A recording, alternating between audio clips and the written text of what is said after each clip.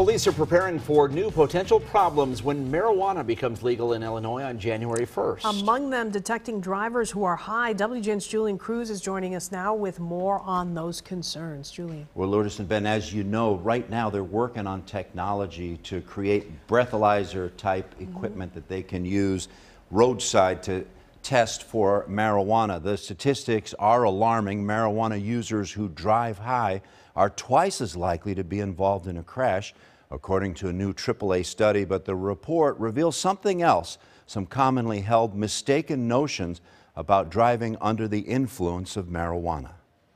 About 15 million Americans report driving uh, within an hour after using marijuana. A new AAA Foundation for Traffic Safety study revealing many motorists think it's safer to smoke and drive than it is to drink and drive. A dangerous misconception, according to the National Highway Traffic Safety Administration. Driving high on marijuana leads to slowed reaction time, experts say. Difficulties in road tracking and lane position variability are another danger.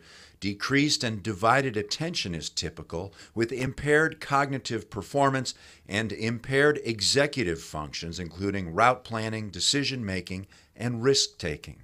About 70% of those surveyed uh, found that or said that uh, they don't think that they will get pulled over within an hour of using marijuana. The perception that it's unlikely police will catch and arrest you for driving under the influence of cannabis all too common, according to AAA pointing to another glaring problem. Police departments don't yet have a roadside breathalyzer test for marijuana. Other than a, bl a blood test, which can be difficult to obtain, uh, there's not anything comparable right now. Nothing even close right now a breathalyzer test for pot way off in the horizon, Westchester Police Chief Stephen Stelter says.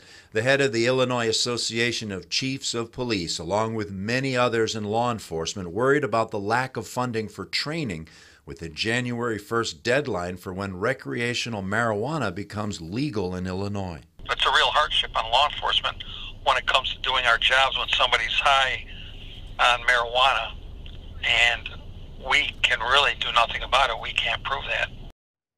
AAA doesn't take a position on the controversial legalization of recreational marijuana, but spokespeople say they are concerned about driving while impaired. Now, coming up in the 5 o'clock hour, Ben and Lourdes, we'll look at what happened, take a quick look at what happened in Colorado and the, the increase in fatalities that mm -hmm. they had when they legalized marijuana. Mm -hmm. Yeah, good roadmap for all of us.